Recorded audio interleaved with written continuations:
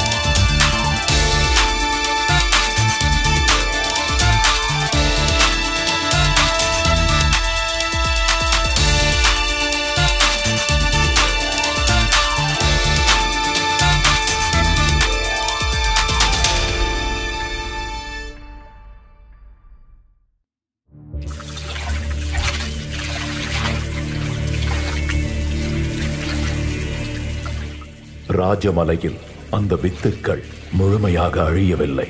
அடக்குமுறைக்காக ஆயுதம் ஏந்தி உயிரை விட்ட லோயிக்கு அனுதாபிகள் இருந்தார்கள்.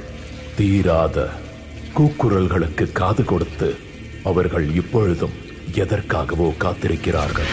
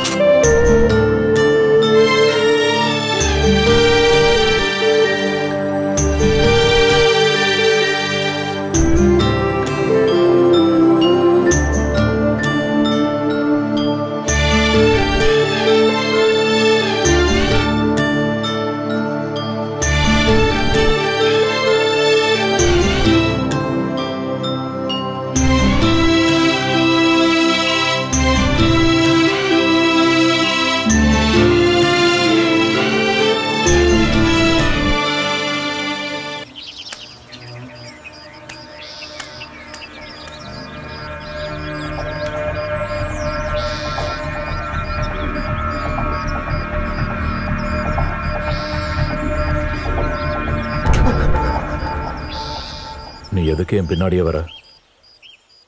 வர வேண்டாம். போ. போய் நல்லா படிச்சு பிழைக்கிற வழியை பாரு. லுயப்பன் நக்சல் தானே நீங்க? ஜான்சன் வக்கீலோட பையன் சொன்னான் அரசாங்கத்துக்கு எதிராக போராட்டம் நடத்தினவர்னு. சில பேரை கொலையும் பண்ணியிருக்கீங்களாமே ஆமா. அதனால தான் பின்னாடி வராதன்னு சொல்றேன். என்னோட கைகளில் ரத்தக்கரை இருக்கு. எப்போ வேணாலும் போலீஸ் பிடிப்பாங்க. அப்படி பிடிச்சா தூக்கு தண்டனை உறுதி. ஏன்னா நீங்க அவங்களெல்லாம் கொல்றீங்க? அதெல்லாம் சொன்னா உனக்கு புரிய வாய்ப்பில்லை. போ இருட்டுறதுக்கு முன்னாடி மலை ஏறணும். திரும்பி வரும்போது பார்க்கலாம்.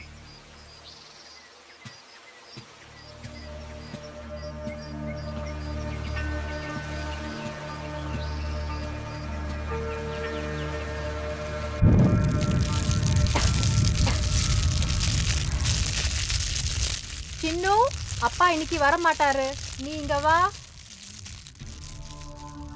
அடிமைகளா இருந்த காலம் முடிஞ்சது. வெள்ளக்காரங்க வரி வசூலிச்சு ஆண்ட காலம் இல்ல. இப்ப நம்ம வாழ்ந்துட்டு இருக்கிற காலம். நமக்காக உருவானதுதான் ஜனநாயகம். இந்த ஜனநாயக நாட்டுல நம்ம ஒவ்வொருத்தருக்கும் சம உரிமை இருக்கு. அதனால நம்ம வாழ்ற நம்ம சொந்த நிலத்துக்காக மரணம் வரைக்கும் போராடணும். அப்படி இல்லைன்னா வருங்காலத்துல நீங்க எல்லாரும் இடமில்லாத அடிமைகளா நீங்க இருப்பீங்க.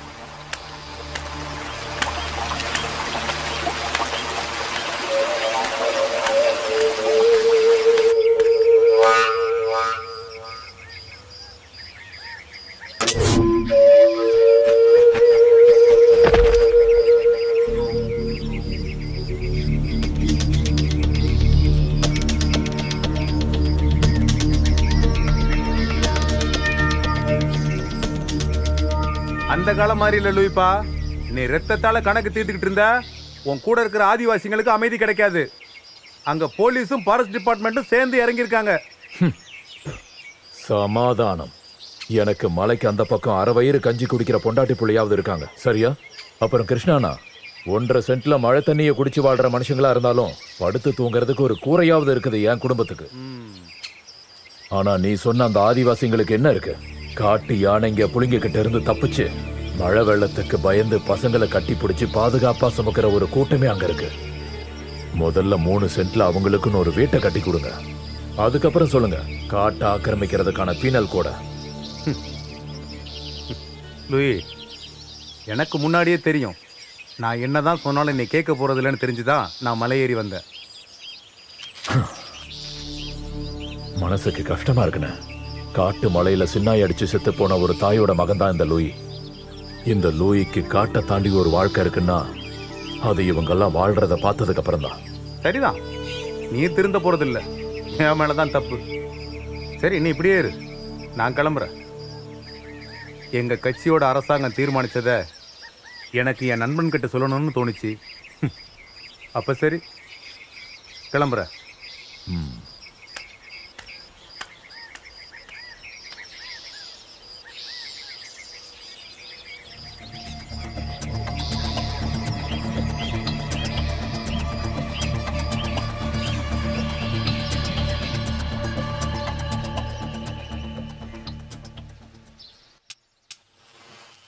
டேய் சம்பா. சாரா வியாபாரத்தெல்லாம் லூயி வந்து நிறுத்திட்டான்னு கேள்விப்பட்டேன் ம், பெரிய லூயிப்பேன் அவனோட காலெல்லாம் எடுத்தாச்சு. நீ வாயை மூடு சம்பா. லூயி கொஞ்ச நாளா ஊர்ல இல்ல அதனால ஆட்டம் போடுற. நீ ஏன் வியாபாரம் பண்ண ஆரம்பிச்சிட்ட? லூயி சொன்னதுல என்ன தப்பு இருக்கு? நீ இந்த திருட்டு வியாபாரத்தெல்லாம் நிறுத்தலாம்ல? நீ என்ன தைரியத்தில் ஆடுறன்னு தெரியுது. லூயி ஊர்ல இல்லாதனால உன்ன மாதிரி ஆளுங்களுக்கெல்லாம் குளிர் விட்டு போச்சு.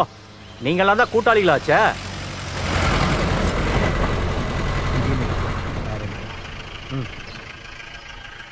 டேய் சம்பா. உன்னை அந்த வக்கீல் தேடிட்டு இருந்தாரு. ஆ போய் பார்க்குறேன். டேய் வரேன்டா.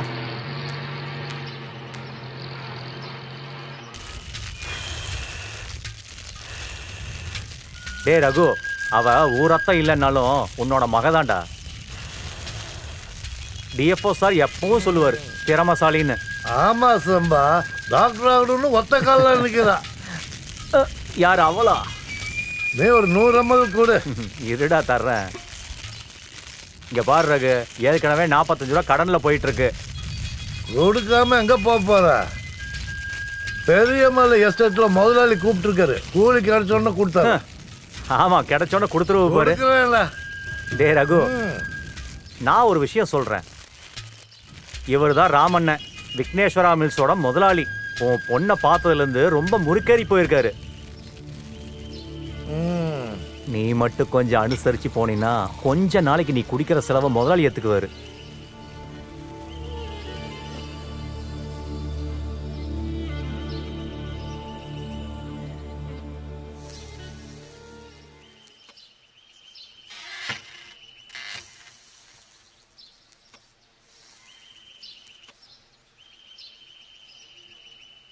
சரி ஆனா அழுக. அஞ்சு ரூபாய் சேர்த்து கொடு. அவளுக்கு கவலைப்படாதீங்க.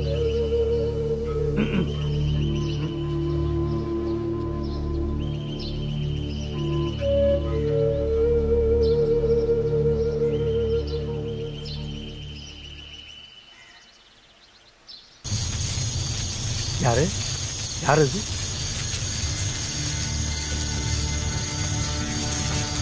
Louis Rajamalai Louis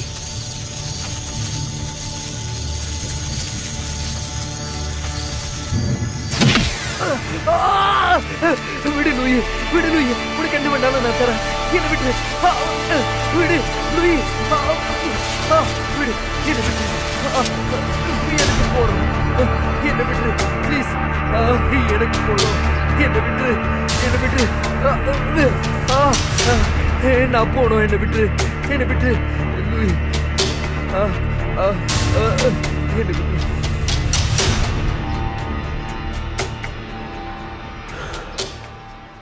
Devayani. முதலாளி மறந்திருக்க மாட்டீங்க. மண்ணெண்ண விளக்கு வெளிச்சத்துல டாக்டர் ஆகணும்னு படிச்சிட்டு இருக்கா ஒரு நாள் ஒரு புயல் காத்து வந்து அந்த விளக்கு அணைச்சிருச்சு.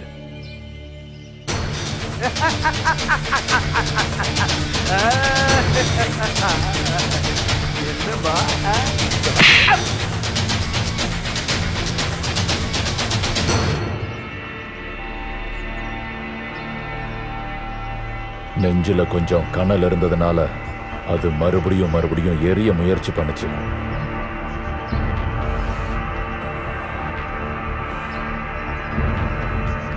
அந்த கனல்ல தான் முதலாளி நேத்து மூத்திரம் பெஞ்சிட்டீங்க. விட்டு ப்ளீஸ் எனக்கு போடும் என்ன விட்டு என்ன விட்டு. ஆ, நான் போடும் என்ன விட்டு என்ன விட்டு. இங்க பாருமா முதலாளிக்கு போகணுமா? சொல்லி அனுப்பி வை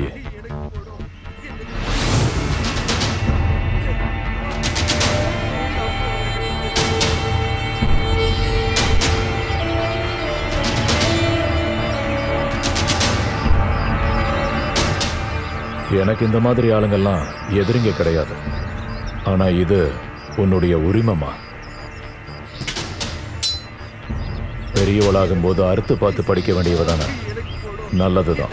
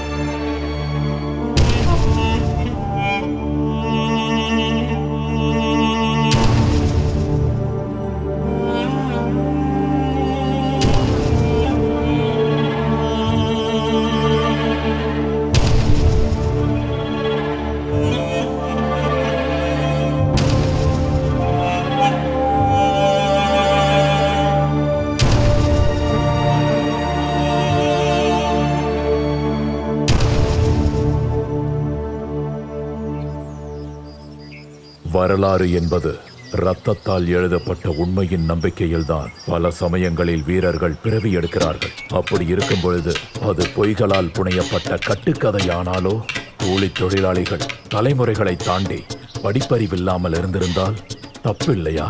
நாம் படித்தது நாம் அறிந்தது அப்படித்தான் என்றால் கொண்டாடப்படாத வெற்றி போராட்டங்களில் இறுதி வரை முழக்கமிட்டவர்கள் எவ்வளவு தூரத்தில் இருந்திருப்பார்கள்? இது அறியப்படாதவர்களின் எழுதப்படாத கதை. இல்லை அது நம்முடைய வாழ்க்கை.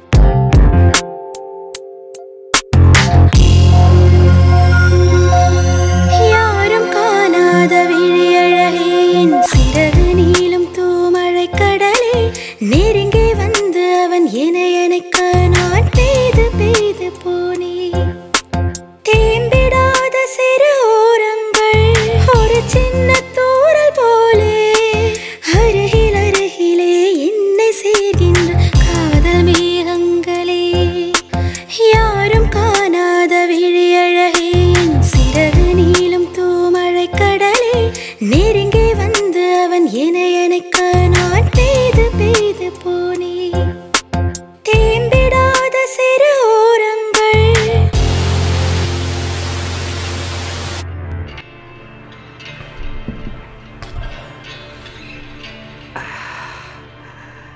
எனக்கு இருக்கிற ஒரே வாரிசு வீட்டுக்கு வெளியில. என்னுடைய பிறந்த நாளுக்கு வந்தது அவனுடைய கருணை. நீ சும்மா குறை சொல்லிக்கிட்டே இருக்காத. உன்ன மாதிரி இல்லைன்னாலும் எம்பிஏ முடிச்சிட்டு அவன் அவனுக்கு பிடிச்ச விஷயத்தை தானே பண்ணிக்கிட்டு இருக்கான். ஆமா பெருசா பிடிச்ச விஷயம். நீ உன் பையனை டாக்டராக்க ஆசைப்பட்டியா? இல்ல அவன் இஷ்டத்துக்கு விட்டுட்டியா? அது இப்படி இப்படி நீங்க கேட்டீங்கன்னா அவங்க அவங்க அவங்க அவங்க வாழ்க்கை தானே சார் வாழ்றாங்க வக்கீல் சார்? இந்தா ஊத்து. உன் புலம்பல் மட்டும்தான்டா இன்னும் கேட்கலங்க என்ன இருந்தாலும் இந்த சம்பத்து உயிரை விடுறது எனக்காக தானே? இதே இருக்காடா அவனுக்கு ஆ? ஓ எவ்வளவு நாள் ஆச்சுடா இந்த மாதிரி ஒண்ணு சேர்ந்து இந்தாங்க வீடு குடும்பம்னு கமிட்மெண்ட் வந்ததுனால நமக்கு வயசானது நல்லா தெரியும் ஓ வாலிப வயசுல நல்லா தான் கூத்தடிச்சு சரக்கு பொண்ணு அதெல்லாம் ஞாபகப்படுத்தாதடா வக்கீலு கட்டி கொடுக்க வேண்டிய வயசுல குழந்தைங்க எல்லாம் இருக்காங்க பண்ண அயோக்கியத்தனத்தை எல்லாம் யோசிச்சு பார்க்கும்போது ஆமா ஆமா என்ன ஆமா ஆமா எனக்கு இப்போ இருக்குடா. ஒரு வகையில வாலிபம். இருக்கு இருக்கு அப்படி என்னடா வயசாயிடுச்சு எனக்கு?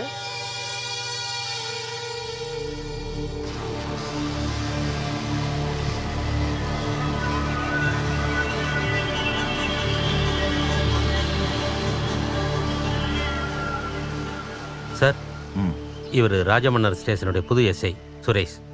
இவருக்கு ஏதோ டவுட் இருக்கான் சார் கொஞ்ச நாளா லூயி குடும்பத்துக்காரங்க வசிக்கிற இடத்துல வெளியூர்காரங்க வந்து போயிட்டு இருக்காங்க யாருன்னு தெரியல. சந்தேகப்பட்டு அக்கம் பக்கத்துல இருக்கிறவங்க தான் போலீஸ்க்கு இன்ஃபார்ம் பண்ணியிருக்காங்க. இமிடியேட்டா நம்ம ஏதாவது பண்ணியே ஆகணும் சார். எது எப்படியோ சுரேஷ் நீங்க ரெண்டு பிசிய ஸ்டேஷன்ல போடுங்க. ஓகே சார் அப்புறம் ஏதாவது இன்ஃபர்மேஷன் கிடைச்சதுன்னா சொல்ல மறந்துடாதீங்க. Yes sir okay sure sir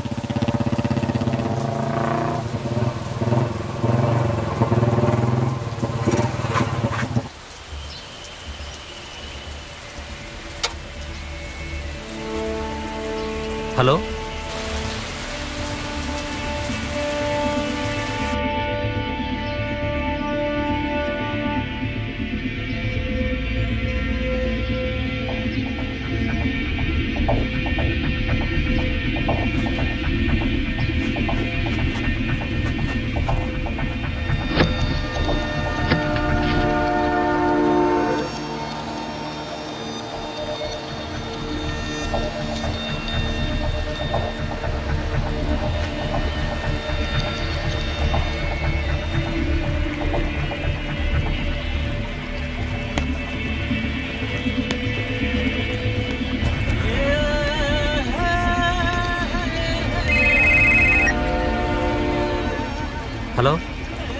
ஆ?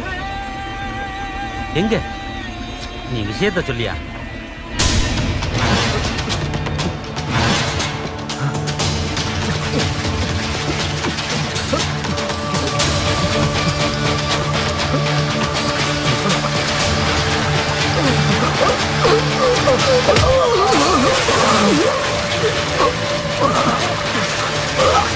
Ah!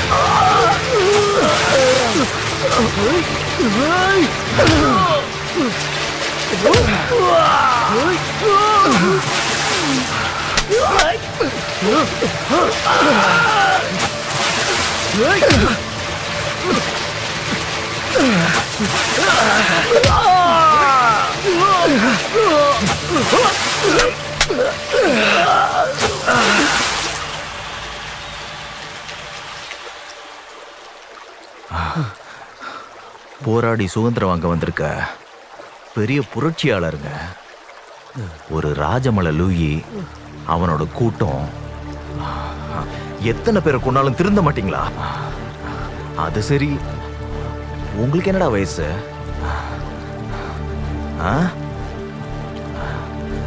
இன்னும் யாரெல்லாம் இருக்காங்க? சாகிறதுக்கும் சாகடிக்கிறதுக்கும். ஆ?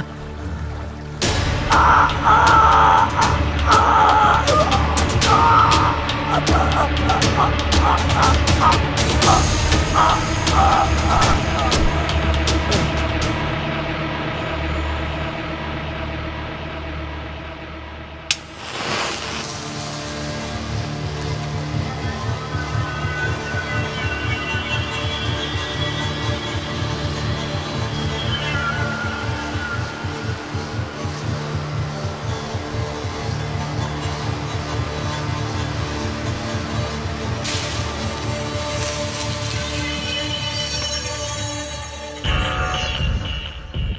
Tell me, what's your next?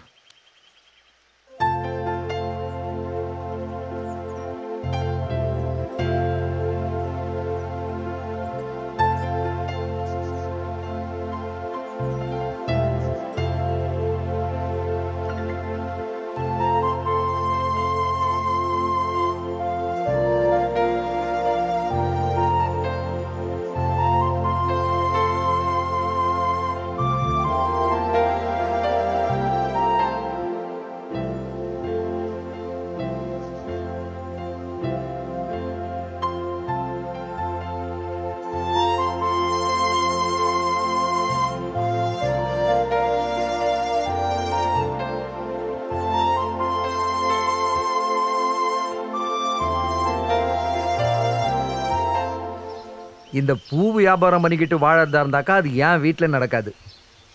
ஆ இல்லைன்னா அம்மா வீட்டில் தான் நிறைய பூ இருக்கு. போய் பிடுங்க. அட நிறுத்துங்கப்பா. நீங்க என்ன சொன்னாலும் என்னால இதெல்லாம் விட்டுட்டு வாழ முடியாது. என்னை என் போக்குல விட்டுருங்களேன் விடுறேன். சில நாய்ங்க என்னதான் தொடக்கரையை வெட்டி போட்டாலும் தின்னு துளையாது. அதுங்களுக்கு எலும்பு தான் தேவை. ஹம்,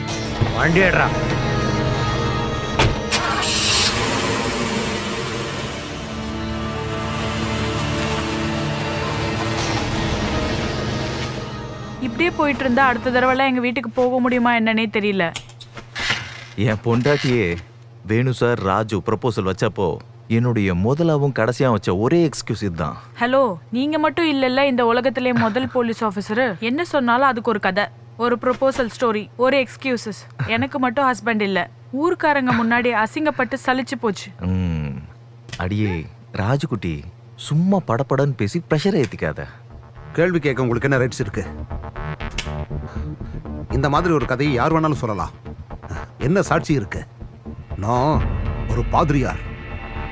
பாவப்பட்ட ஆத்மாக்கள் பரிசுத்த ஆத்மாக்கள் இறைவன் நடுவில் சுயமரியாதை இழக்கும் பொழுது கெட்டவைகளை எதிர்க்கும் பொழுது கோபம் கொள்ளும்.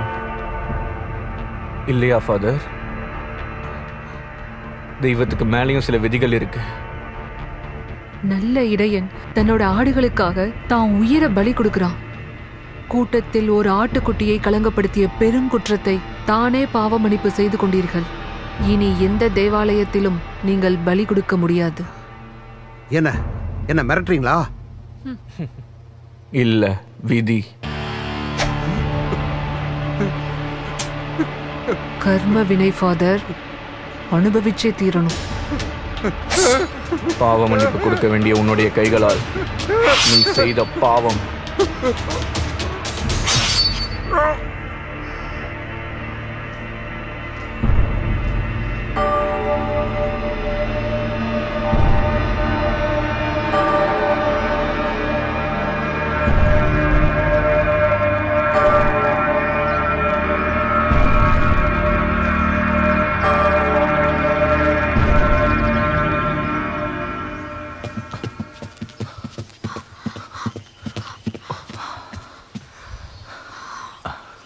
இத்தனை வருஷம் கழிச்சு நடக்கிற ஒரு பழிவாங்குற கதை.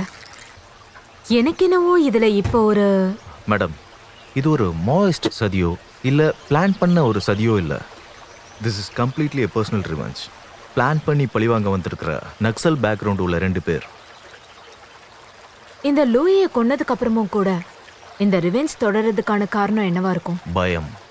பிடிபட்டுருவோன்னு உறுதியான பிறகு தொடர்ச்சியா கிரைம்களால ஒரு கன்க்ளூஷன் என்ன இருந்தாலும் போஸ்ட்மார்ட்டம் ரிப்போர்ட்ல சிமிலாரிட்டி ஒரு வேல்யூபிள் லிங்க் அந்த வழியில இன்வெஸ்டிகேஷன் பண்ணா பலன் இருக்கும். Yes madam sure okay bye bye thank you அப்படின்னா இந்த டாக்டர் ரவியோட அரவணைப்புல வந்தது எப்போல இருந்து தெரியுமா?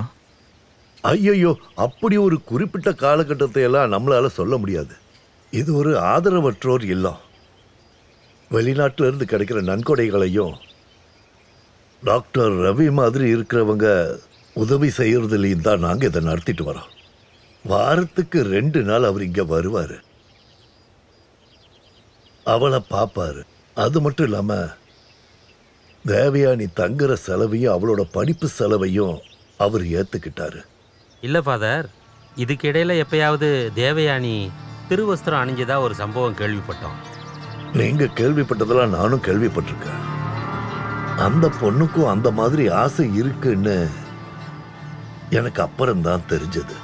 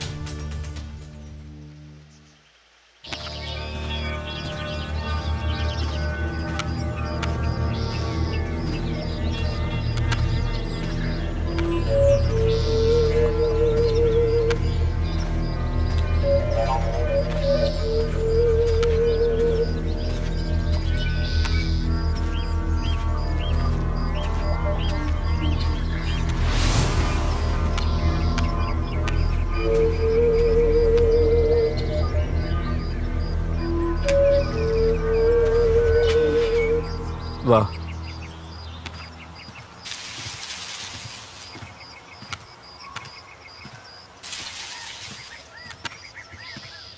தேவி குட்டியை பத்தி விசாரிக்கிறாங்க. மொபைல் போனை கண்டுபிடிச்சிட்டாங்கன்னா அதனால தான் நான் இப்போ ஃபோனே எடுக்கிறது இல்ல அப்புறம் நான் ஃபேஸ்புக் லைவை பத்தி சொல்லியிருந்தேன்ல ஒரு மஞ்சு பத்திரிகையோட எடிட்டர் பேரு உதயபானு. அவன் எழுதி கொடுக்க முடிவு பண்ணிட்டானா. அந்த ஆளு சரியான குடிகாரனா இருந்தாலும் அவர் புக்கை பப்ளிஷ் பண்றது சீரியஸ் தான். என்கிட்ட ஒரு நியூஸ் கட்டிங் இருக்கு அதை நான் படிக்கிறேன். ராஜமலை லூயியின் வாழ்க்கை வரலாறு. நாமக்கல் உதயபானு தான் அதோட பதிப்பாளர். ஏழைகளின் தலைவன் என்று தன்னைத்தானே சொல்லிக்கொண்டு திரிந்த நிறைய நிறவெறியாளர்களுக்கு குடைபிடித்த நக்சல் லூயி தமிழ்நாட்டில் ஆதிவாசி ஊர்களில் போராட்டம் என்னும் பெயரில் நடத்திய அக்கிரமங்களின் தொகுப்பை தான் இந்த புத்தகம் பேசப் போகிறது. லூயியோடு பேட்டி கண்டு நேரில் அறிந்த விபரங்களின் தொகுப்பு இது. ம் நிறுத்து. அவன் விஷயத்தை நான் பார்த்துக்கிறேன். அவனோட பேட்டியும் ஒரு புத்தகமும். நீ கிளம்பு.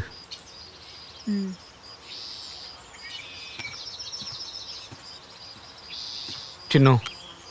ஆ? அப்புறம் அப்புறம் என்ன? எனக்கு ஏதோ கெட்டது நடக்க போற மாதிரியே ஃபீல் ஆகுது. அது என்னோட பிரம்மையா கூட இருக்கலாம். இதை வச்சுக்கோ ஒரு தைரியத்துக்கு.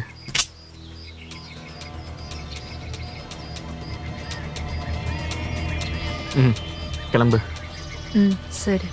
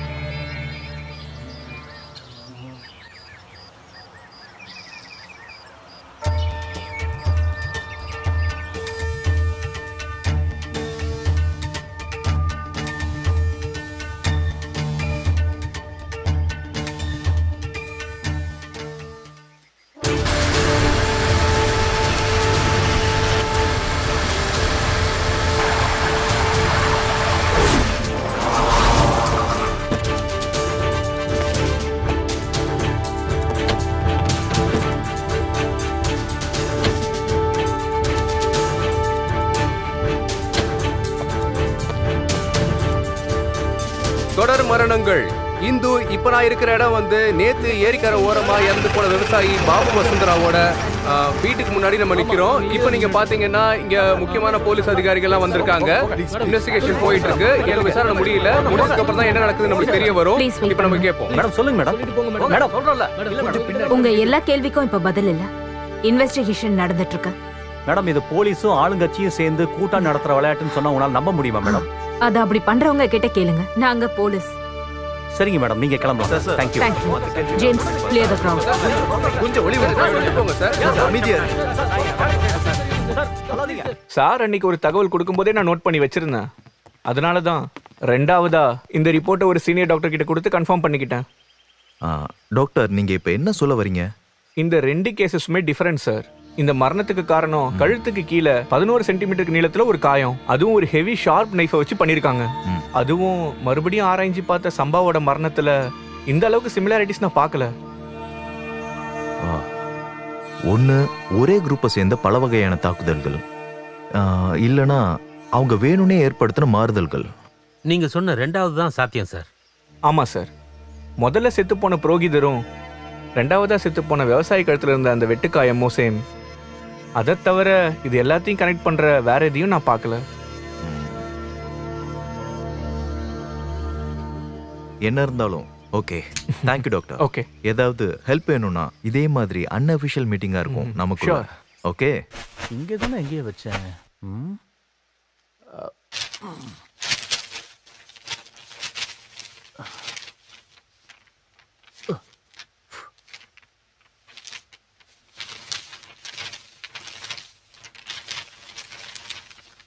இதோ. இது அந்த நக்சல் தாக்குதலோட செய்தி பேப்பர்ல வந்தது. நீங்க கேட்ட அந்த பொண்ணோட நியூஸ் அதோ அங்க கீழே இருக்கு பாருங்க.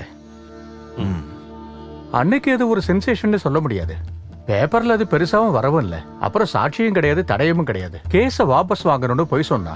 அப்போ உருப்படாத ஒரு கேஸுக்கு தான் அன்னைக்கு நீங்க வக்காலத்து வாங்குனீங்களா? இல்ல போலீஸ். அப்பெல்லாம் இந்த மாதிரி இமிடியேட் மருத்துவ பரிசோதனையும் சோஷியல் மீடியாவும் நியூஸ் வெளியாகிறதும் கம்மி. அப்போ அவங்க பணம் கொடுத்து இந்த கேஸ மூடிட்டாங்க. சரி, சரி ஆ, நல்லது.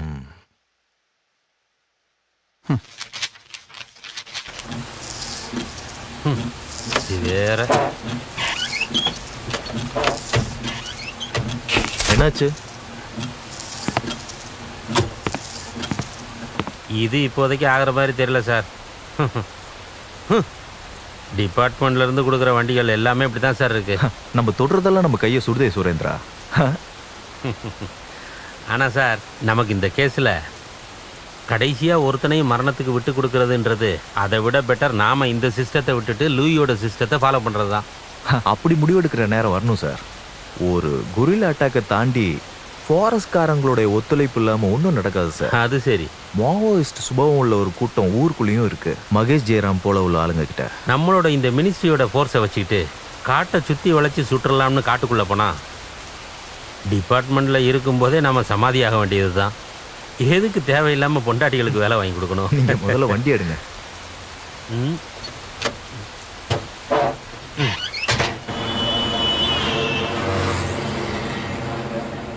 சரி அப்போ நான் கிளம்புறேன். ஆ சரி கிருஷ்ணண்ணே ம். என்னதான் நம்ம வேற வேற கட்சியை சேர்ந்தவங்களா இருந்தாலும் இந்த விஷயத்தில் நான் உங்களுக்கு சப்போர்ட்டா இருக்கேன். இடையில நம்ம பசங்க கொஞ்சம் உண்மைகளையும் படிக்கட்டுமே. உங்களோட கட்சிக்கு எதிரான யுத்தம் தான் இது. அதை மறந்துடாதீங்க. அதெல்லாம் சரிதான். நடந்து முடிஞ்ச எலெக்ஷன்ல நான் ஜெயிச்சதே கூட்டணியோட பலத்தை வச்சுதான். அரசியல்வாதினாலே அப்படி இப்படி இருந்துதானே ஆகணும். சரி பார்ப்போம் சோ ஆ. ம்.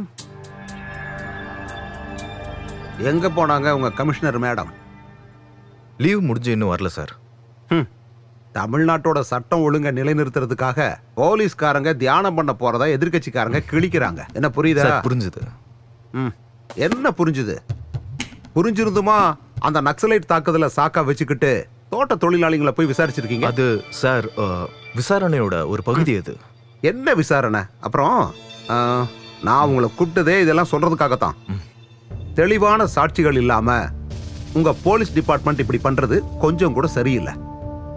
அப்புறம் அந்த எழுத்தாளரோட கையை உடைச்ச சம்பவம். இப்ப நடந்துகிட்டு இருக்கிற பிரச்சனைகளுக்கும் அந்த மனுஷனுக்கும் ஏதாவது ஒரு சம்மந்தம் இருக்கா? சார் அப்படி சொல்றது தான் சரின்னு படுது. அந்த ஆள் ஒரு ஃபுல் டைம் ஆல்கோஹாலிக் சார் அப்புறம் இந்த எஸ்பி லைவ்ல ஆபாசமா பேசுறத ஒரு வழக்கமாக்கிட்டாரு. அதை மட்டுமே வச்சு சந்தேகப்படுறதுல ஒரு அர்த்தம் இல்லை.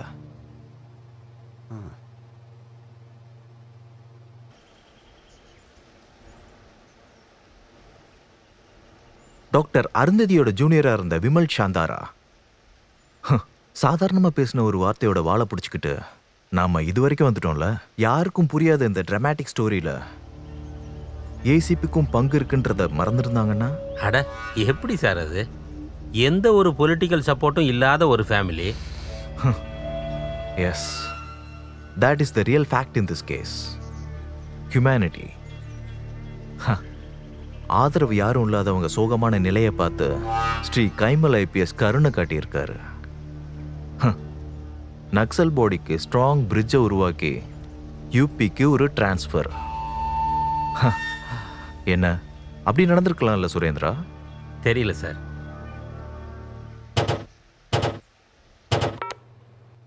Hello hello.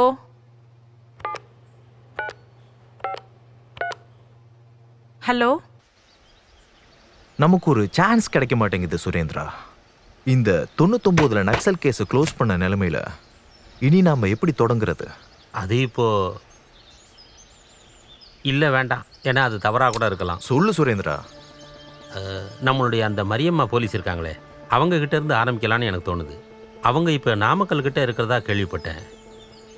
டிபார்ட்மெண்ட்ல ஒரு தடவை லூயி தான் அன்னைக்கு முக்கியமானவனா இருந்தான். ஆயிரத்தி தொள்ளாயிரத்தி தொண்ணூத்தி ஒம்போதுல அவனுக்கு கேஸில் தண்டனை கிடச்சிது. ஒரு எட்டு ஒம்பது வருஷம் அவன் அப்படியே இருந்தான். முன்னாடி வீரப்பன் இருந்த காட்டில் ராஜமலை லூயின்னு சொன்னான் காடும் ஊரும் அன்னைக்கு இருந்த அதிகாரிகளும் நடுங்குவாங்க. நிறைய போராட்டங்கள் பண்ணியும் கொன்னும். கடைசியில் போலீஸ்காரன் துப்பாக்கியால் செத்து போனான். ஆ அன்னைக்கு தொண்ணூத்தொம்பது கேஸ் வேலை பார்க்கும்போது ஒரு ஆள் மட்டும் மிஸ் ஆயிட்டாங்க. வெட்டுப்பட்டு செத்த அதே ஊரை சேர்ந்த ரகு தற்கொலை பண்ணி செத்து போன மனைவியும் இல்லாம இன்னொரு ஆள். அது யாரு சார்? கேஸை விசாரிச்சது கைமல் சார் தான். அவருக்கே தெரியாத புது ஆள் யார் அது இந்த கைமல் சாருக்கு தெரியாத ஒரு கதை மேடம்க்கு தெரிஞ்சிருக்கணுமே. புரியல சார். இந்த கல்யாணி ரகுவோட பொண்ணு தேவயானி. இன்னும் புரியுற மாதிரி போலீஸ் பாஷையில் சொல்லணும்னா தொண்ணூற்றி ஒன்பதாவது வருஷம் ஒரு சாயங்கால நேரம். அங்கே இருக்கிற இஞ்சிக்காட்டு பக்கத்தில் எங்கேயோ வச்சு ரெண்டு மூணு தலைவர்களால் ரொம்ப கொடூரமாக ரேப் செய்யப்பட்ட தேவயானிங்கிற ஒரு பதினாறு வயசு பொண்ணு.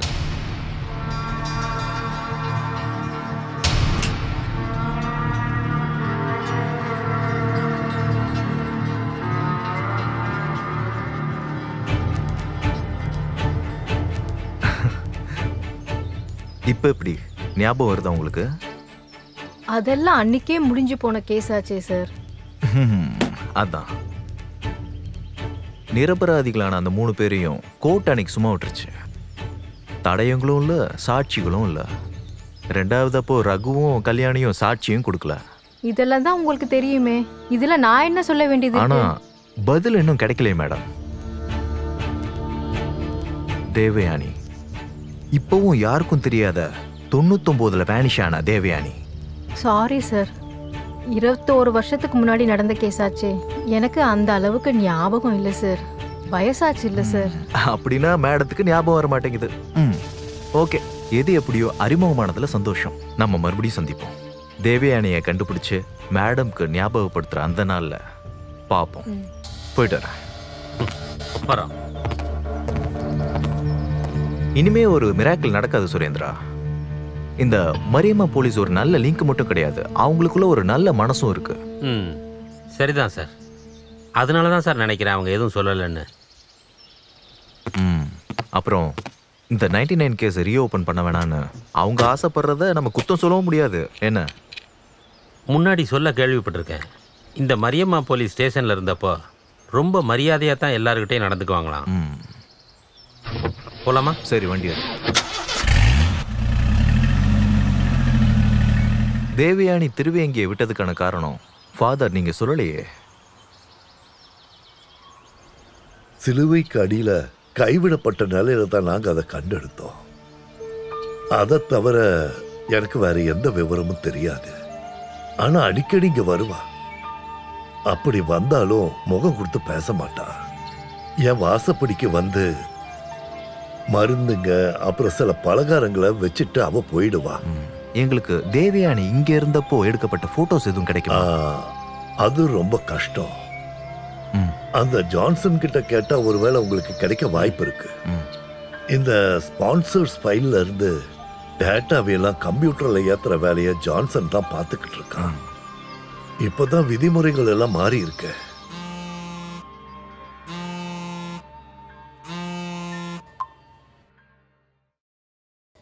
ஹலோ அவங்க வாயிலேருந்து வரதுக்கான வாய்ப்பு இல்லை மேடம். ஒரு வளர்ப்பு தாயோட அன்பும் அக்கறையும் அவங்க பேச்சில் இருந்தது.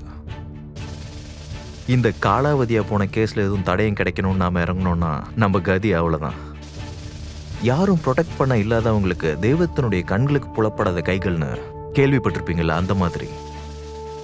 அதனால மரியம்மா போலீஸை மறக்கிறது நல்லதுன்னு நான் நினைக்கிறேன்.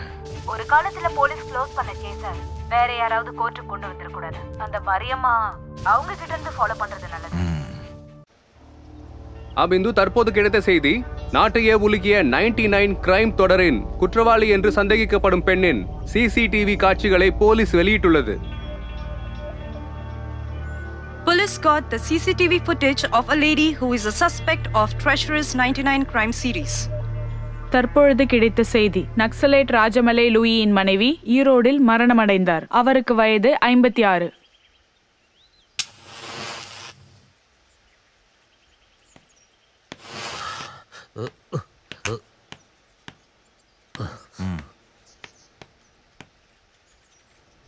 சார் இந்த பேங்க்ல பார்த்த செக்யூரிட்டி சிசிடிவியில் பார்த்த சந்தேகம்லாம் சின்ன விஷயம் இல்லை சார். அப்புறம் மேடம் சொன்ன மாதிரி கில்லர்ஸுடைய நோக்கம் அவ்வளவு உறுதியாக இல்லாத நிலையில் அவ்வளவு உறுதியாக இருக்கிறப்போ?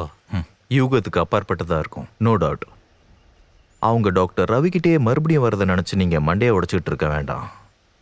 தேடி கண்டுபிடிக்காதபடி ஒரு சேஃப் லொகேஷன் இன்னும் எத்தனை பேர் சார்? ரெண்டாவது அப்பனை போட்டு தாக்காம பொண்ணு மற்றவங்களெல்லாம் போட்டு தாக்கிட்டே வர்றது நல்லது இல்லையா சார்? எது எப்படியோ அவங்க போட்டோகிராஃப்ஸை பப்ளிஷ் செய்யணும். இந்த விஷயத்தை தெளிவா எஸ்பி கிட்ட பேசி ஹை ரேஞ்ச் ஏரியா எல்லா செக் போஸ்ட்லயும் போலீஸை கண்காணிக்க சொல்லணும். ஓகே சார் ஆ புரியுது சொல்லு. நாங்கள் இப்போ தான் கோர்ட்லேருந்து கிளம்ப போகிறோம் ம்? இடம் எங்கன்னு சொல்லு. என்னாச்சு? சார் ஒரு டெத் நடந்திருக்கு சார். வண்டி எடு. இப்போ செத்தது யாருன்னு தெரியலையே?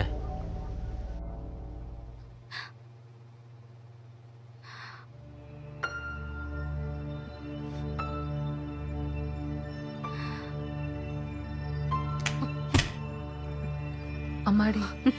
வேண்டாம். எனக்கு ஒன்றும் கேட்க வேண்டாம். நீங்க என்ன மட்டும் இல்ல நம்மளோட இல்ல என் அப்பாவையும் சேர்த்து ஏமாத்திருக்கீங்க. எனக்கு இப்ப பயமா இருக்கு உங்களை பார்த்தா.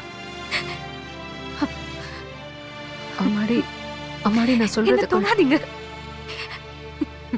நானா போலீஸ கூப்பிட வேண்டாம்னு பாக்குறேன். ஆனா இனிமே உங்களை நான் இங்க எங்கேயும் பார்க்க கூடாது நான் உங்களுக்கு சொந்தமே இல்ல. இல்ல இனிமே இங்க இருக்க மாட்டேன். அதை சொல்றதுக்கு தான் நான் இங்க வந்தேன். நான் சொல்ல வேண்டிய இன்னும் சில விஷயங்களை நீ கேட்கணும். வாழ்க்கை முடிஞ்சு போனது எப்போன்னு எனக்கு இன்னும் ஞாபகம் இல்லை.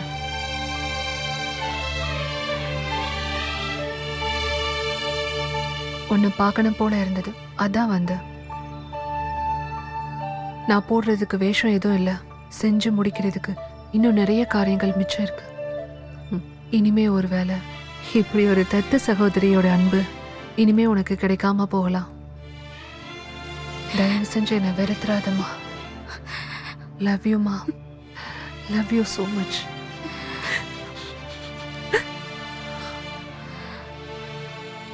Devayani அக்காக்கு எங்களை தவிர வேற யாரும் இல்லைன்னு நல்லா தெரியும். ஆனா இதெல்லாம் யோசிச்சு பார்க்கவே ரொம்ப பயமா இருக்கு. அவங்க மனசு அந்த அளவுக்கு வேதனைப்பட்டிருக்கு. அதனால தான் உங்க அக்கா அவங்கள கொண்டிருக்காங்க என்னோட டென்ஷன் அது இல்லை. சுயநினைவை இழந்த இந்த நேரத்தில் நீ யாருன்னு கூட அவங்களுக்கு தெரியாது. எவ்வளோ நாள் நீ ஹாஸ்டல்ல இருப்ப? நீ அதை நினைச்சு கவலைப்படாத. அக்காக்கு நான் பொண்ணு மாதிரி. தேவயானி அக்காவோட விஷயத்துல எனக்கு வருத்தம் தான் படிப்புக்காக வந்து மூணு நாலு வருஷம் தான் பழக்கம் இருந்தாலும் அக்கா மேல நான் ரொம்ப பாசம் வச்சிருந்தேன்.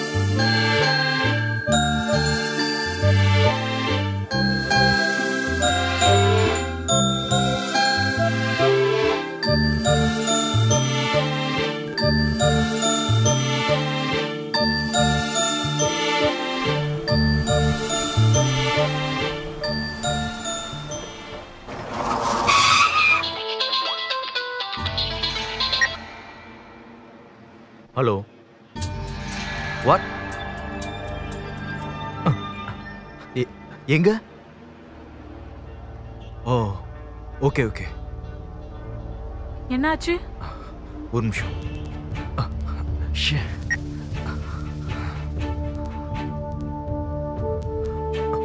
Hello. Hello. Hello. Shit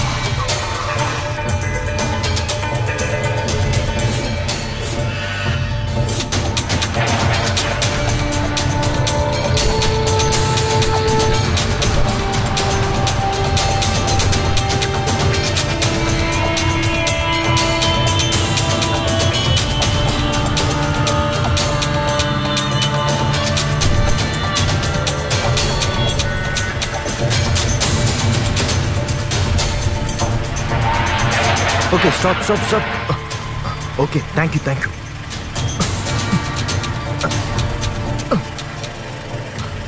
திரும்பி பார்க்காத.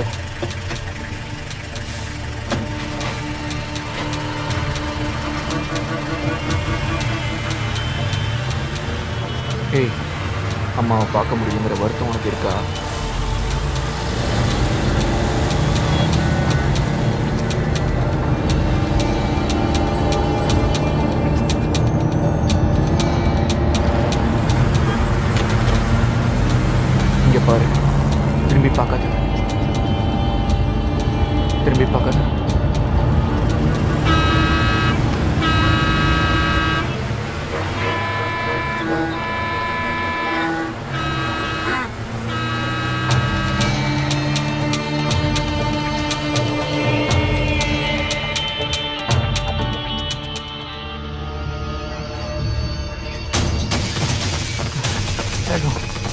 mother.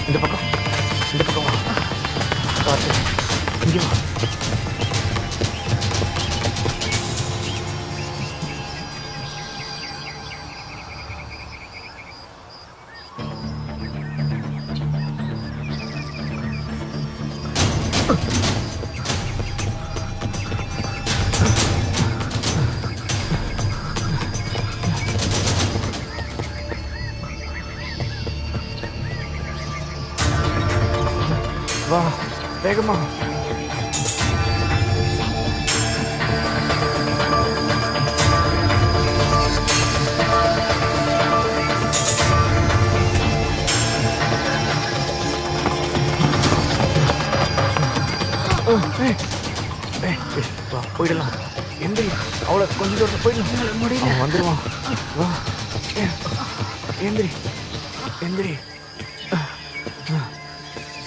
சொல்றது கேளு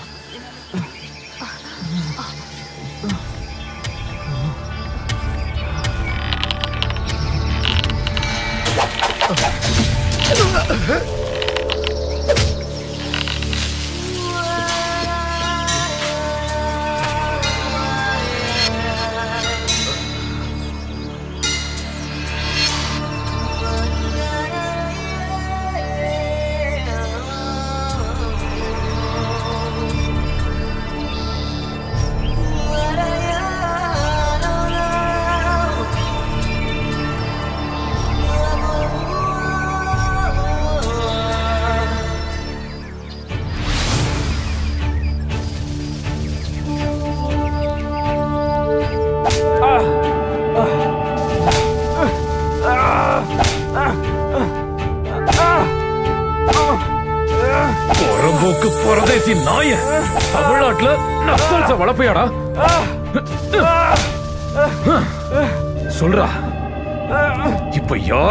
யார நீங்க எல்லாம் ஒண்ணு சேர்ந்திருக்கீங்க தமிழ்நாட்டு போலீஸ் என்ன புண்ணாக்குங்க நினைச்சீங்களா இப்ப பாரு ஏய்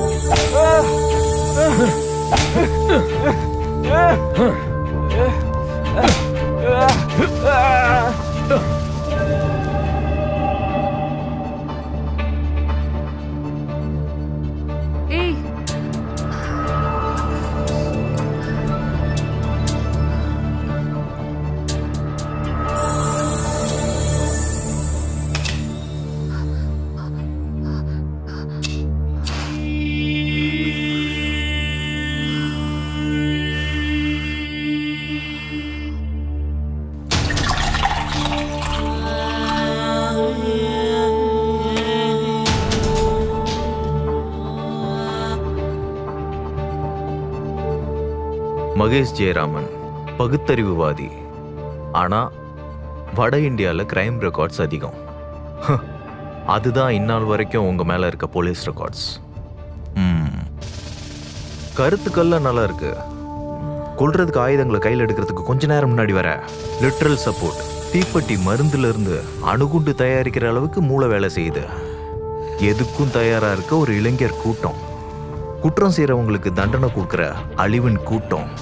ஆனா நீங்க அதை விட விசித்திரமானவர் சுரேஷ். என்ன இருந்தாலும் ராஜமலை லூயியோட அன்பு சிஷியர்கள் ஒரு சுயசரிதை எழுதுறதுக்கான ஏற்பாட்டை பண்ணிக்கோங்க. வலுவான ஆதாரங்களும் தெளிவான சாட்சிகளும் பிரதிவாதிகளோட வாக்குமூலமா போலீஸ் இந்த ஃபைலை க்ளோஸ் பண்ண போகுது. அப்புறம் ஒரு மகேஷும் தேவயானியும் மட்டும் ஒண்ணா நின்னா பத்தாது. இந்த குற்றவாளிகளுடைய உலகம்.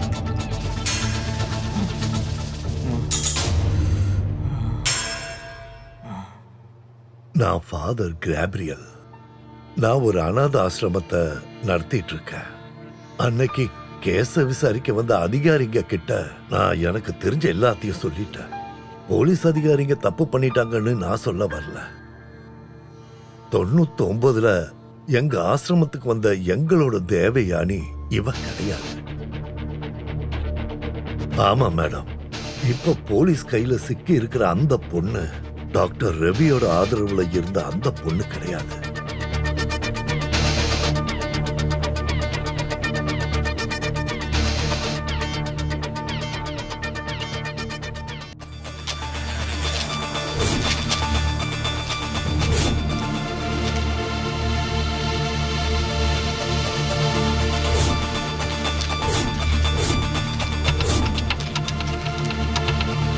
தேவயானி தங்குற செலவையும் அவளோட படிப்பு செலவையும் அவர் ஏத்துக்கிட்டாரு. முன்னாடி வீரப்பன் இருந்த காட்டுல ராஜமலை லூயின்னு சொன்னா காடும் ஊரும் அன்னைக்கு இருந்த அதிகாரிகளும் நடுங்குவாங்க. எல்லாரும் வந்துட்டாங்கல்ல? என்ன மேடம் சொல்லுங்க. பிரச்சனையை சால்வ் பண்ண மாட்டீங்களா என்ன? சேனல்காரங்களுக்கும் பத்திரிகைக்காரங்களுக்கும் கொண்டாடுறதுக்கு நம்மளே எடுத்து கொடுத்த மாதிரி ஆயிடுச்சு. இதனால மந்திரி சபையே கவுர் அளவுக்கு ஆகி போச்சு என்ன இதெல்லாம்? நக்சலிசம் வெறும் பெட்டி கேஸா போலீஸால பார்க்க முடியாது. பாருங்க. என்னதான் சொல்ல வர்றீங்க? பேட்டி கேஸ்னு அப்படி யார் சொன்னாங்க மேடம்? சார் போலீஸ் கஸ்டடியில இருக்கிற மகேஷ் ஜெயராம்னும் தேவயானியும் குற்றத்தை ஒத்துக்கிட்டாங்க. அப்புறம்? அப்புறம் அவங்கள கஸ்டடியில எடுத்தது அந்த குரூப்பை சேர்ந்த மத்தவங்களோட மூவ தெரிஞ்சுக்கிறதுக்காக தான். Yes miss Aparna. Carry on விசாரணை நடக்கட்டும். நக்சலைட்டோட தாக்குதல் மத்திய அரசை கவிழ்க்கிறதுக்கான ஒரு சூழ்ச்சி தான் சொல்லி எதிர்க்கட்சிக்காரங்க குற்றம் சுமத்துறாங்க. இதுக்கு நீங்க தான் ஒரு முற்றுப்புள்ளி வைக்கணும். ஓகே சார் இந்த கதைக்கு ஒரு முடிவு வரப்போகுது சார் ஒன்று எல்லா பிரச்சனையும் முடிவுக்கு வரணும். அப்படி இல்லைன்னா வேட்டைக்காரன் அடங்கி போகணும். ஆனா இந்த வேட்டைக்காரனை நம்ம நெருங்க கூட முடியலையே சுரேந்திரா. ஆ?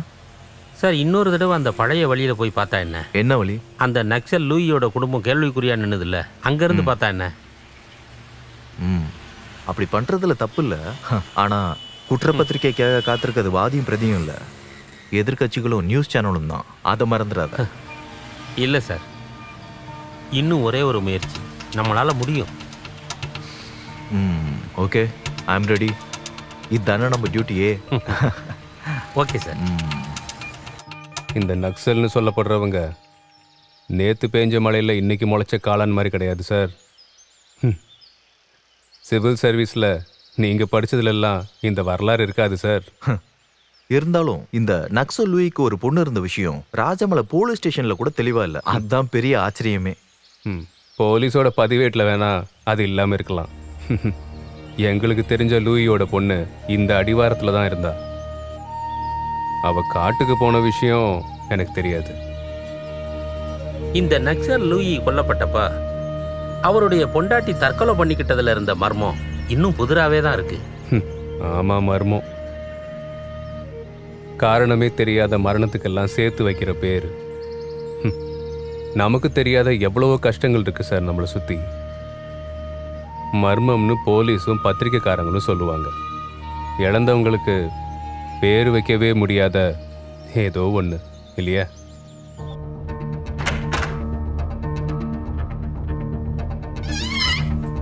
அக்காவை தேட ஆரம்பிச்சு ரொம்ப நேரம் ஆச்சு. ம். அப்போ இந்த தேவயானி தங்க ஆரம்பிச்சு எத்தனை நாள் ஆச்சுன்னு சொன்னீங்க? முதல்ல ஒரு மடத்துல இருந்தாங்க. இப்போ மூணு நாலு வருஷமா தான் இங்க. இந்த மூணு வருஷத்துக்கு இடையில அவங்களுடைய பயணத்திலேயோ நடவடிக்கைகள்லையோ உங்களுக்கு எந்த சந்தேகமும் வரலையா? இல்ல சார். இல்லைன்னு சொன்னா நான் மறுப்பு எதுவும் சொல்லாம தலையாட்டணும். இல்ல? சார் கொஞ்சம் மரியாதையா நீங்க யாரு? சார் நான் தனபாலன் இங்க இருக்கிற பொண்ணுங்களோட வேலையெல்லாம் எந்த பொண்ணுங்களோட? நீங்க முழிக்கிற மொழியே சரியில்லையே. சார் அது சார் அங்கிள் தான் ஃபிளாட்டோட செக்ரட்டரி. என்ன? உங்ககிட்டயா கேட்டேன்? நீயும் இவரும் சேர்ந்து நாளைக்கு காலையில பத்து மணிக்கு கமிஷனர் ஆபீஸுக்கு வரணும். மற்ற விஷயங்கள்ல அங்க வந்து பேசிக்கலாம். ஓகே? Okay sir.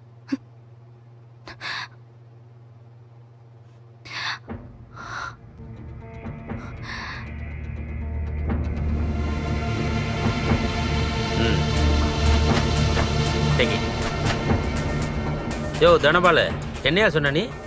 இங்க ஒரு பொண்ணு மட்டும் தான் தங்கி இருக்குதுண்ணா அது இப்போ நேத்து வரைக்கும் ரெண்டு பொண்ணு இங்க தங்கி இருந்திருக்காங்க. அதுல ஒரு பொண்ணை நேத்து இடுக்கி ராஜமலையில வச்சு அரெஸ்ட் பண்ணியிருக்காங்க. அது எதுக்குன்னு தெரியுமா? தண்டி யாத்திரைக்கு போன குற்றத்துக்காக இல்ல தேச துரோக குற்றத்துக்கு. இது என்னன்னு பாத்தியா? நீங்க சொன்ன அந்த பொண்ணு ரூம்ல இருந்து கிடைச்சது. புரிஞ்சுதா? கிரிமினல்ஸை பாதுகாக்கிறவங்க கிட்ட எப்படி நடந்துக்கணும்னு நீ எனக்கு சொல்லிக் கொடுக்காத. என்ன? புரிஞ்சுதா செக்யூரிட்டி தனபாலா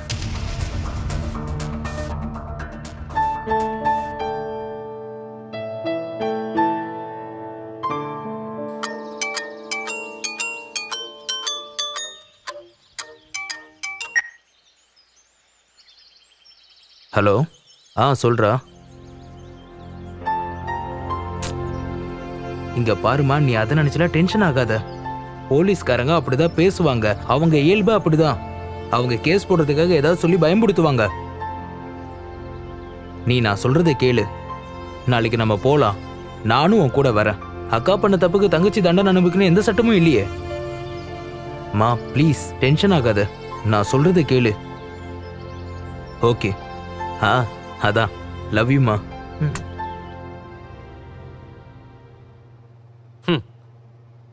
புதுமண தம்பதிகளை எதுக்காக கூப்பிட்டோன்னு இப்ப புரியுதா? போலீஸ்ட்ட நேருக்கு நேரா பேசுறதுக்கு உள்ள இருக்க குற்ற உணர்ச்சி தானே காரணம்? குற்ற உணர்ச்சியா எங்களுக்குன்னு குற்ற உணர்ச்சி நாங்க என்ன சார் தப்பு பண்ணோம்? பொண்டாட்டி மேல உள்ள அதிக அன்புல பேசுறது எனக்கு தெரியுது. ஆனா ஒரு வருஷத்துக்கும் மேல ஒரே அறையில தங்கியிருந்த ரெண்டு பெண்கள்ல ஒருத்தர் ஆளுங்களை கொடூரமா கொள்ற ஒருத்தரா இருந்தா? அதனால தான் அவங்க கூட மூணு வருஷமா தங்கிக்கிட்டு இருந்த ரேவதியையும் போலீஸ் சந்தேகப்பட வேண்டியது இருக்கு. Sir please. இது மோசம் சார். ரொம்பவே மோசம். இங்க சட்ட நீதிலாம் இருக்கு. ஓ. ஒன்றும் தெரியாதுங்கிற ரேவதியோட கன்ஃபெஷனை வேணா போலீஸ் ஏத்துக்கும். இல்ல இணை குற்றவாளிங்கிற பேர்ல கோர்ட்ல ஆஜர்படுத்தலாம். அப்படியும் இல்லனா மேல் விசாரணைக்காக ரிமாண்ட்லயும் வைக்கலாம். தேச துரோக குற்றம்ங்கிறதுனால ஜாமீன் கூட கிடைக்காது. அப்புறம் இது ஒன்றும் வானத்துல இருந்து கீழே விழுந்து கிடைச்ச ஒரு சிங்கிள் சார்ஜ் கேஸ் இல்லையே அலெக்ஸ் வருட கணக்கா போலீஸ் விசாரிச்சுக்கிட்டு இருக்க ஒரு சென்சேஷனல் கேஸ் இது. அப்புறம் போலீஸ்க்கும் இது நல்லாவே தெரியும். இந்த கேஸ்ல ரேவதிக்கு எந்த சம்பந்தமும் இல்லைன்னு. அப்ப என்ன சார் இவ்ளோ நேரம் பேசுனதுக்கு அர்த்தம்? அர்த்தம் இருக்கு. எப்பவுமே போலீஸுக்கு மட்டுமே தெரிஞ்ச விஷயங்கள் இருக்கு. மேபி இதுன்னு. நீங்க கூட சேர்ந்து இன்வால்வ் ஆகாத கேஸா கூட இருக்கலாம். யார் அந்த தேவயானி? முதல்ல ராஜமலையில இருந்து வயநாட்டுக்கு ஆதிவாசிங்க கூட போராட்டத்துல இறங்குறாங்க. இடையில கன்னியாஸ்திரி வேஷம். அப்புறம் வளர்பாப்பாவோட மரணத்துக்கு அப்புறம் ரவி டாக்டர் வீட்டுக்கு திரும்ப வராங்க. படிப்புல புத்திசாலியா இருந்த தேவயானி எப்பல இருந்து கையில ஆயுதத்தை எடுக்க ஆரம்பிச்சாங்க? அதெல்லாம் போலீஸ்காரங்க நீங்க தான் விசாரிக்கணும். அதை விட்டுட்டு எங்ககிட்ட சொல்லிட்டு இருக்கீங்க? ரத்தத்தால செவத்துல படம் வரைய ஆரம்பிச்ச குழந்தை பருவம். பெண் குழந்தைங்க அனுபவிக்க கூடாத துயரத்தை அனுபவிச்சிருக்கா தேவியானி? ஆனா இது ஒண்ணு முடியல மேடம். தேவயானிய கொடூரமா மாத்தினவங்கல்ல ஒரு ஆள் இன்னும் வெளியில தான் இருக்கான். அட்வொகேட் ஜான்சன் இனி யாரு? எப்படி? எங்க வச்ச? இனிமே இதுதான் நம்மளோட டாஸ்க். ராஜமல லூயி. செத்து மண்ணுல புதஞ்சிருக்கானே அவனா? யாரா வேணாலும் இருக்கலாம். இன்னும் நாலு பேர் இருக்காங்கல்ல. ம், லட்சியத்தை அடையாம தோத்து போற ஜாதி இல்ல மேடம். எக்ஸாக்ட்லி எஸ்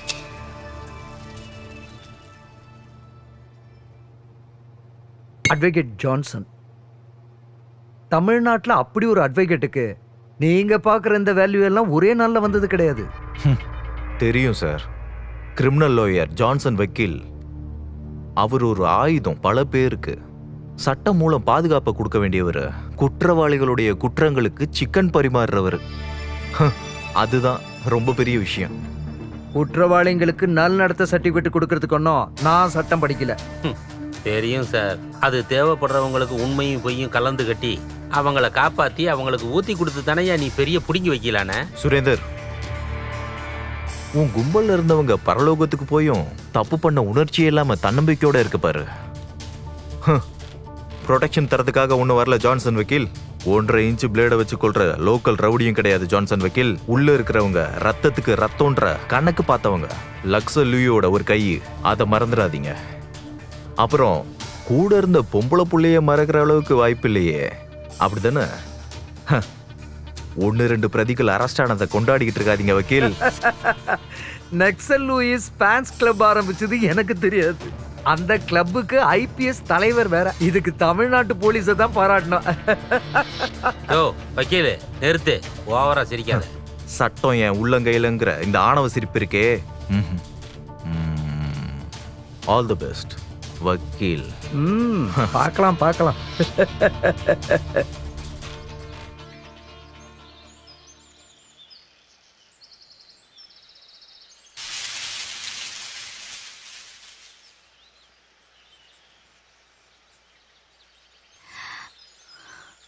நீ எதிர்பார்த்துட்டு இருக்கிறவன் நான் இல்லை.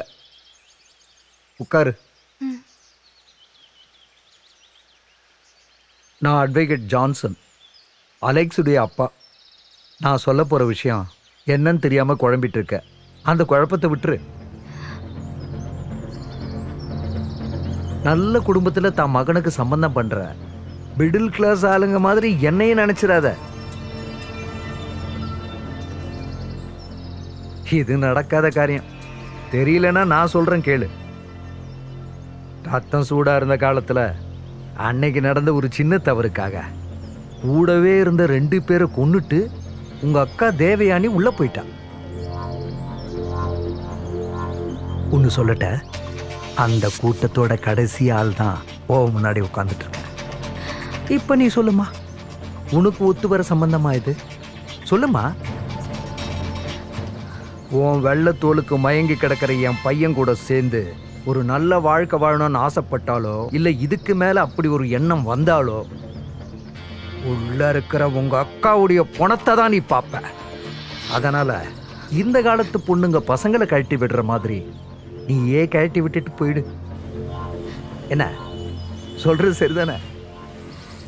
நீ விட்டுருவேன் எனக்கு தெரியும். உனக்கு உங்க அக்கா மேல பாசம் இருக்குமே. யோசி. அப்ப நான் வரட்ட? யோசிச்சு முடிவெடு.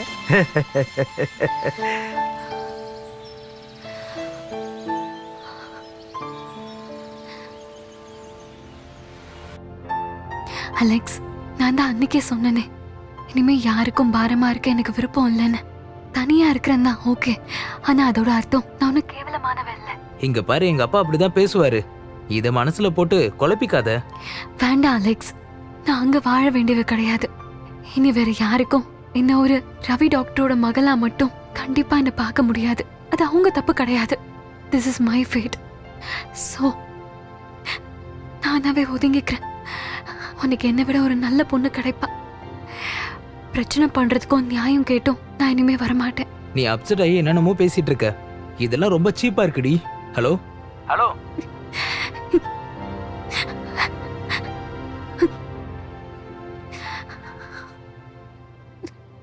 எனக்கு ஒரு விஷயம் தெரியணும்ப்பா அவ என்ன தப்பு பண்ணான்னு இந்த அளவுக்கு அசிங்கப்படுத்திருக்கீங்க? ஓ அப்படின்னா கிரிமினலுடைய தங்கச்சியை லவ் பண்ணதுக்காக நீ கொஞ்சம் கூட வருத்தப்படவே இல்லை. ஒரு அப்பாவா நானும் அதை பத்தி எதுவும் கேட்க கூடாது நீங்க சொல்ற கிரிமினலுக்கும் உங்களுக்கு என்னதான் சம்மந்தம்? சொல்லணுமா? சொல்லணுமாடா? பணம் சம்பாதிக்கிறதுக்காக பெரிய மனுஷங்களுக்கு எதிராக கட்டுக்கதைங்களை கட்டி விடுற கப்ப என்ன அதிகமா பேச வைக்காதடா. நீங்க சொல்லிதான் ஆகணும். இப்ப நீங்க சொல்றீங்க கிரிமினல் கொலை பண்றவங்க இந்த மாதிரி வார்த்தையை நான் கேட்டுக்கிட்டே இருக்கேன். இதுக்கெல்லாம் என்ன அர்த்தம்? ஏன் உங்ககிட்ட பதில் இல்லையா? என்னது? என்ன பதில்டா இனி நீ என்ன சொன்னாலும் அவளை கட்டிட்டு தான் நீ குடும்பம் நடத்த போறனா இல்லப்பா நான் இந்த விஷயத்துல ஒரு முடிவு எடுத்துட்டேன். இனி இந்த வீட்ல அட்வொகேட் ஜான்சனோட பையனா மட்டும் என்னால வாழ முடியாது. ஆனா இப்ப கூட நீங்க ஏதோ ஒண்ணு என்கிட்ட மறைக்கிறீங்க. அப்புறம் நீங்க சொல்றீங்களே கிரிமினலோட தங்கச்சின்னு. அவளை கண்டிப்பா கல்யாணம் பண்ணிப்பேன். இதை யாராலையும் தடுக்க முடியாது.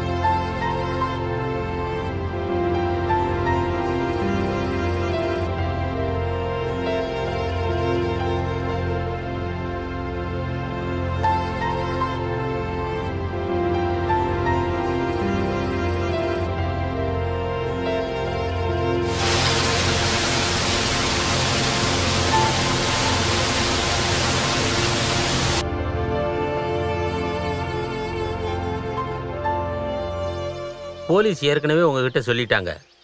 ஒரு சாதாரண மர்டர் கேஸ் மாதிரி இந்த கேஸ் இல்லைங்கிறத.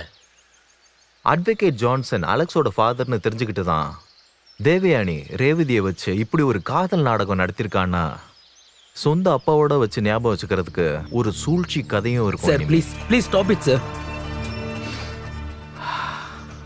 அப்படி கிடையாதுன்னு நம்புறது தான் அலெக்ஸோட எண்ணமும் விருப்பமும்.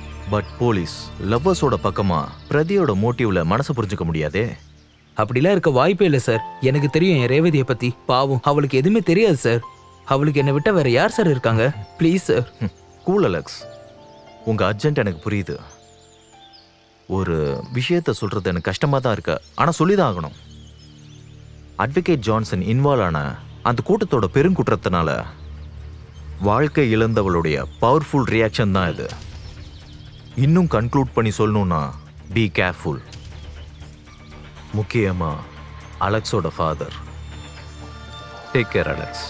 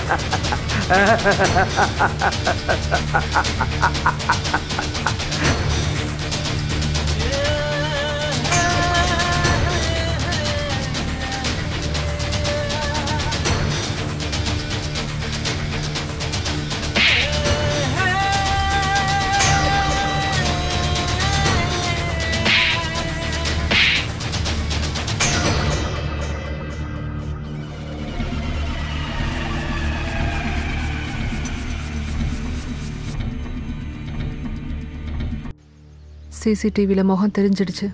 போலீஸ் பின் தொடர்றாங்க. எந்த நிமிஷமும் பிடிச்சிடலாம். கடைசியா ரேவதியை ஒரு தடவை பார்க்கணும். அக்கா நீங்க டென்ஷன் ஆகாதீங்க. அக்கா அப்புறம்?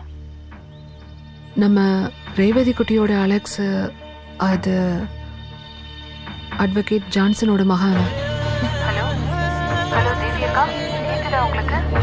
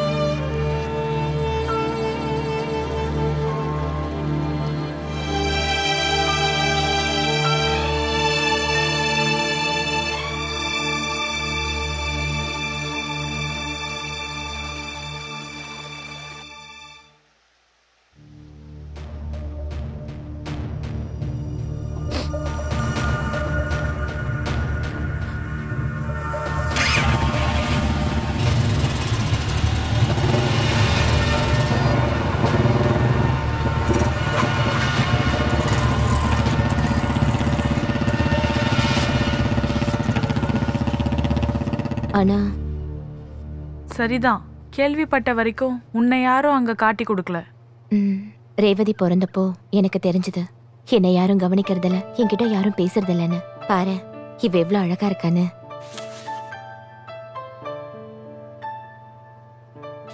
அந்த ஆளோட லைவ் நான் பார்த்திருக்கேன். அவன் மனநோயாளின்னு நினைக்கிறேன். அப்படி இல்லாம யாரும் இப்படி பேச மாட்டாங்க. நார்மல் இல்லைங்கிறது டேம் ஷோர் பட் மனநல பாதிக்கப்பட்டதுனால மட்டும் இல்ல. அந்த ஆள் ஒரு குடிகாரன். இந்த போஸ்ட்னால எந்த ஹிஸ்டரியும் மாற போறதில்ல. ஆனா அது சோஷியல் மீடியால வைரல் ஆகுதே. அதுதான் இப்ப trend communist party Namakkal secretary Krishnan அண்ணன் அவரை போய் பார்த்தா என்ன?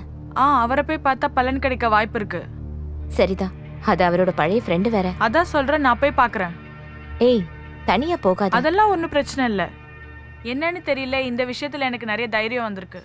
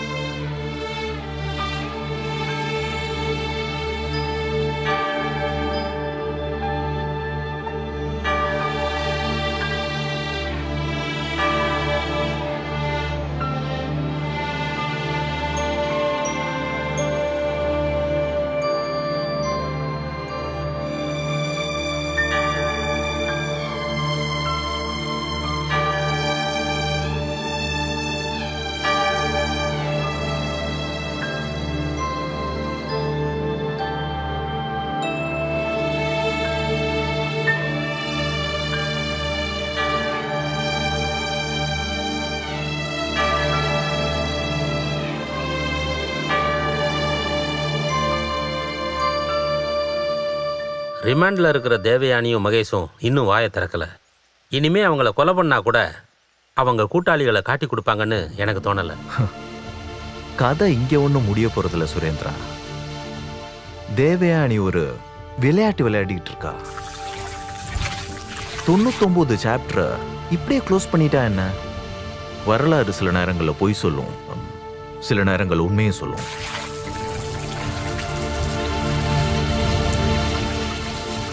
அந்த கூட்டத்துக்கு சம்பந்தப்பட்ட உண்மைக்கு அப்பாற்பட்டு தேவயானி வாழ்ந்திருக்கட்டும்.